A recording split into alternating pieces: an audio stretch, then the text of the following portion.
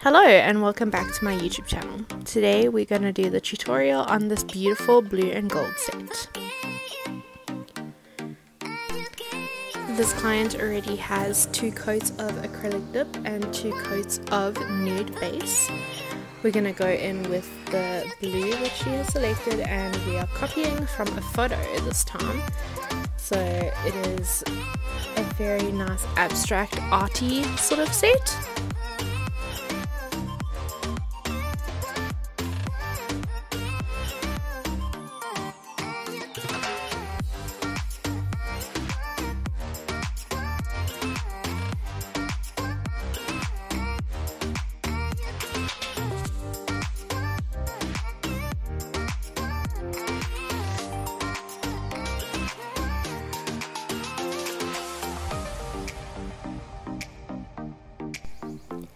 This set utilizes two of my loose glitters. So as you can see on the board there, I have taken a dollop of base coat and I've just sprinkled some of the glitter into it and mixed it up.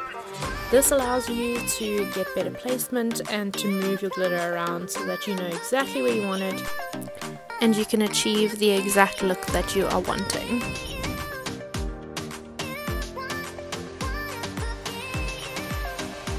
After we have finished applying the glitter, this is going to cure in our lamp for 60 seconds.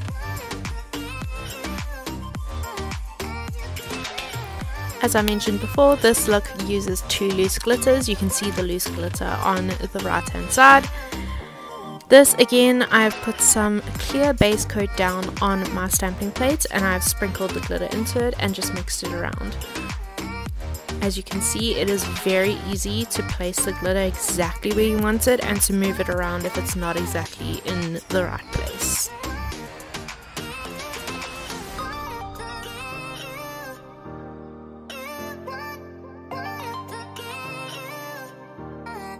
You can see that the glitter is going on very nicely and when I don't get it in the right spot I just take my cuticle pusher and I make sure that I can push it around into the right place. This is very very easy to do and I really really enjoyed this set.